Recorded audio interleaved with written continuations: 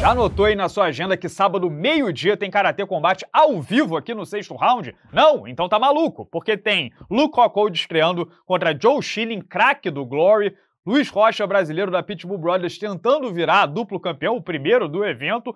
Eu comento, Vitor Miranda comenta e temos um narrador misterioso. Por favor, esteja aqui com a gente sábado, meio-dia, vai ser um evento direto de Dubai, imperdível. Agora vamos para a resenha.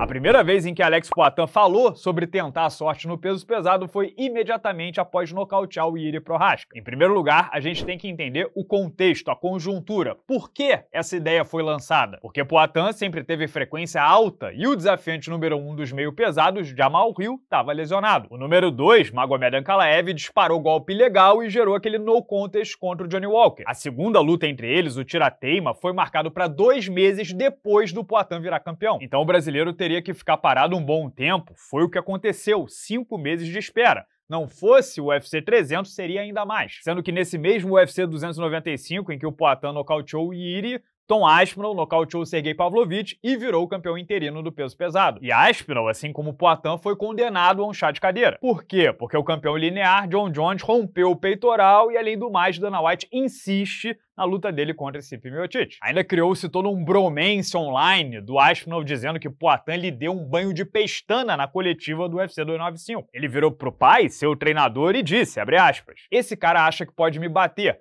Posso sentir isso vindo dele, da forma como ele me olha. Aí o brasileiro lançou o tal Enigma, 30 mais 300 igual a 3, e o fã que curte super-herói, curte uma grandeza lá, ele ficou em polvorosa. Eu torci o nariz, não vou negar. Poitin só tinha batido 93 quilos duas vezes no MMA, cinco na vida inteira. A carreira toda foi com 80, 85 quilos. E direto pro peso pesado, pelo menos 15 quilos mais leve, sem a preparação adequada, sem ser uma mudança definitiva, ainda mais contra o Tom Aspinall, que tem a luta agarrada como base, soava proibitivo para dizer o mínimo. E parecia meio fantasioso, um grande salto de fé, sem ter feito pelo menos uma defesa de título antes. Só que agora esse título já foi defendido, e se havia qualquer dúvida sobre a transferência de potência para a categoria de cima, não há mais. Porque os olhos do Jamal Hill, jovem, que nunca sequer tinha levado o knockdown, foram parar na nuca no primeiro soco que explodiu contra o seu rosto. E Poatan estava pesando 106 quilos com percentual de gordura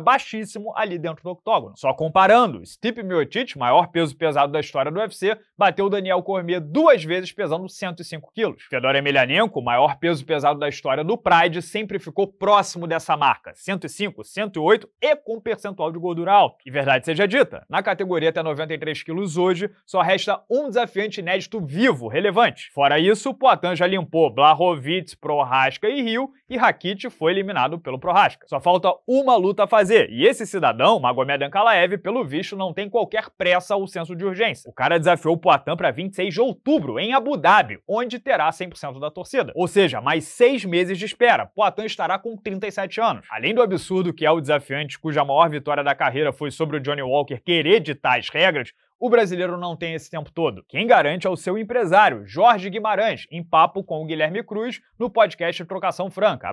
Ele tem o desejo de lutar no peso pesado e acho que vai fazer um trabalho incrível ele tá com fome de luta, diz que o seu tempo tá acabando e quer conquistar o máximo que puder. Eu concordo em gênero, número e grau com esse senso de urgência. Pensando melhor, não vai dar tempo de fazer a transição perfeita. Ele não tem três anos para botar massa como o John Jones. Portanto, tá certo, a janela de oportunidade dele é estreita. Ele tem aí mais um, talvez dois anos inteiros para fazer o máximo possível. Sim, Glover é o seu mentor e lutou em alto nível até os 40 e poucos, mas Glover é exceção. Outra pessoa, outra carreira outra genética, não é porque treinam juntos que tem o mesmo destino. Não dá para contar com isso. Então, seis meses esperando o Rio e mais seis meses esperando o Ankalaev, sempre no ritmo do desafiante, não dá. E para quebrar isso, não tem qualquer outro jeito a não ser correr risco. Sugeri aqui no canal que Poatan mandasse uma banana pro Ankalaev e se enfurnasse em uma das duas oportunidades que o peso pesado vai oferecer agora no meio do ano. Tom Aspinall no pay-per-view da Inglaterra, final de julho, ou Cyril Gane no Fight Night Paris em setembro. Claro, só o primeiro caso possibilita Poatan fazer história, ser o primeiro a conquistar um triplo campeonato no UFC. O segundo cenário apresenta outro ponto negativo, que é a questão da grana. Pensa comigo, entre defender o cinturão em Abu Dhabi no mês de outubro, levando uma fatia dos pacotes pay-per-views vendidos e compor um Fight Night em setembro, o maior incentivo está no primeiro caso. Ainda mais se Islam Makhachev por algum motivo não puder ir a Abu Dhabi e o UFC precisar desesperadamente do Ankalaev na luta principal. Mas o ponto principal desse vídeo não é cravar se a próxima luta do Poatan vai ser ou não no peso pesado, se ele vai ser o adversário do Tom Aspinall em Manchester. Os meus pontos são: 1. Um, Poatan só tem mais uma luta a fazer com 93 quilos. E vencendo Ankalaev, acabou, divisão zerada. Porque considerando idade e a vontade de fazer o máximo no tempo que resta, a luta seguinte tem que ser até 120 quilos. E número 2, é a primeira vez em 30 anos de UFC que o triplo campeonato é factível. Pode pegar todos os nove duplo campeões que o UFC produziu. BJ Penn, Randy Couture, McGregor, Cerrudo, Cormier, Amanda, Poitin, Jorge St-Pierre e John Jones. A conquista do terceiro cinturão nunca foi uma possibilidade real e imediata para nenhum deles. Alguém aí, por exemplo, achou que depois de bater o Michael Bisping, Jorge St-Pierre podia subir para desafiar o John Jones? Cerrudo até sonhou com Volkanovski, mas além de não haver qualquer vontade por parte do Dana White, duvido que venceria. E Conor McGregor podia com Camaro Usman? Daniel Cormier tinha como bater 84 quilos? Não me entendo errado. Poitin seria bem zebra contra o Tom Aspinall e contra o John Jones. Mas com a velocidade que carrega do peso médio e o toque da morte absurdo nas duas mãos, ninguém mais acha fantasia, loucura. Pelo contrário, a temperatura da situação mudou. A maioria das pessoas quer pagar para ver. E Dana White, no final das contas, é um intermediário entre a vontade do público e os atletas. E, de novo, a gente está falando de um cara com 12 lutas de MMA, dois anos e meio de UFC três e pouco de dedicação exclusiva ao esporte. Pereira é um unicórnio, e se alguém pode quebrar o status quo, rasgar o tecido da realidade, é ele. No vestiário, depois do UFC 300, Glover Teixeira pediu a palavra e fez um discurso impactante. Disse que Poitin não era só o cara mais duro com quem já treinou,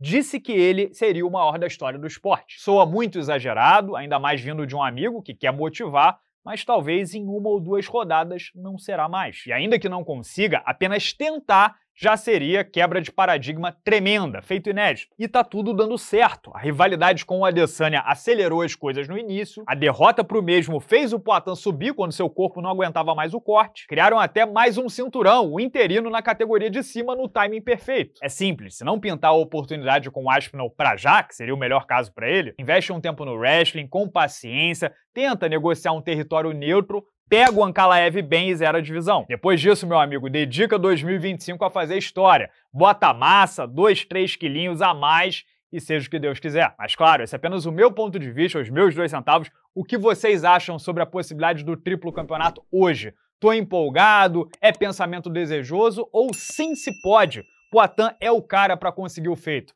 Comente livremente aqui embaixo no vídeo, deixa o like por favor, que ajuda a gente a ser recomendado aqui no YouTube. Não perde o Karate Combate nesse sábado ao vivo no sexto round a partir do meio-dia e confere também a resenha de ontem em que eu falei sobre a situação do Charles do Bronx. Tá um velório danado, um cemitério, todo mundo dando ele como acabado e eu discordo.